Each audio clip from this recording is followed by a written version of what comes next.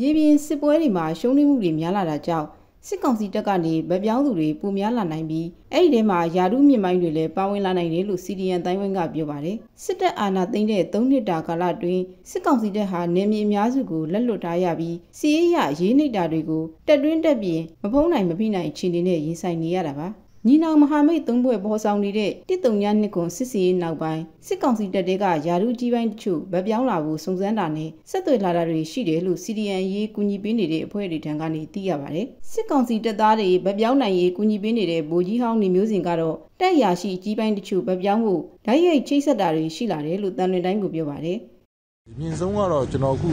ကျွန်တော်နဲ့ချိတ်ဆက်ပြီးတော့အပြင်ထွက်လာတာတော့ဒုဗိုလ်မှူးကြီးအဆင့်ထိရတော့အနေဆုံးပါပဲ။ ဗိုလ်မှူးကြီးနဲ့ဗိုလ်မှူးချုပ်အဆင့်ထိကတော့စကပြောပဲရှိသေးတယ်သူတို့တွေတော့ဆွဲထုတ်ဖို့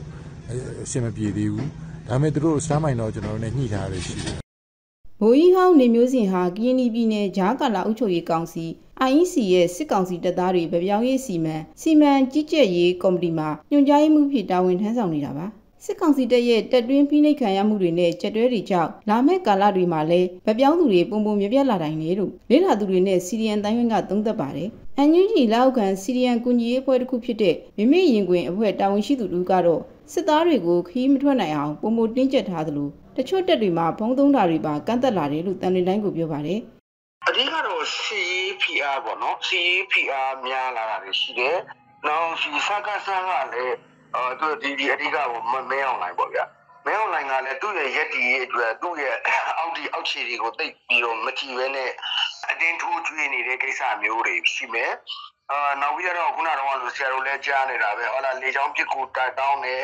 လေချောင်းပြစ်ကူတောင်းတဲ့အခါမှာလေချောင်းပြစ်ကူမပေးတာမျိုးတွေပေါ့ဗျာတခါကျလေချောင်းပြစ်ကူလာတဲ့အခါကျတော့လေကုလူတွေပေါ်ကိုပြန်ပြီးချဲတဲ့အခြေအနေမျိုးတွေပေါ့ဗျာဆိုလို့ရှင်တာတော့အဲ့ဒါမျိုးတွေရှိပဲ ဒါအပြင်ရှီတန်းတက်စကန်တွေမှာလည်းတွန်လိုင်းတက်တွေရဲ့ဒရုန်းရန်ကြောက်နေရတဲ့အတွက်ဂျမ်မာတွေတက်ထားတာကြောင့်ဆက်သွယ်ရေးလိုင်းအခက်အခဲတွေဖြစ်နေပြီးသတင်းချက်လက်အမှန်သိရဖို့စီဒီယန်ဝင်ဖို့ဆက်သွယ်ရမှာအခက်အခဲတွေရှိနေတယ်လို့သိရပါတယ်။လက်ရှိမှာတော့စစ်ကောင်စီတပ်ရဲ့တောက်တိုင်ဗိုလ်မှူးနဲ့ဗိုလ်ကြီးအဆင့်တွေဟာစီဒီယန်လုခွင့်ရဖို့သက်ဆိုင်ရာဖွဲ့စည်းတွေနဲ့ဆက်သွယ်လာကြသလိုပြီးခဲ့တဲ့ရက်အပတ်ကလည်းဗိုလ်မှူးတူဟာမိမိရင်ခွင်ဖွဲ့နဲ့ချိတ်ဆက်ပြီးလူမြောက်နယ်မြေကိုအောင်မြင်စွာဗပြောင်းလာနိုင်ခဲ့တယ်လို့သိရပါတယ်။ တော်လန်ရေးဆိုးရနဲ့ဘွယ်စည်းတော်တော်များများဟာစစ်ကောင်စီတပ်ကအရာရှိတွေပါဝင်တပ်သားတွေဗပြောင်းနိုင်ရေးကူညီပေးနေကြသလိုထိုင်းနိုင်ငံဗတ်ချမ်းမှာလည်းအရေးပေါ်နေထိုင်မှုနေစရာတွေစီစဉ်ပေးက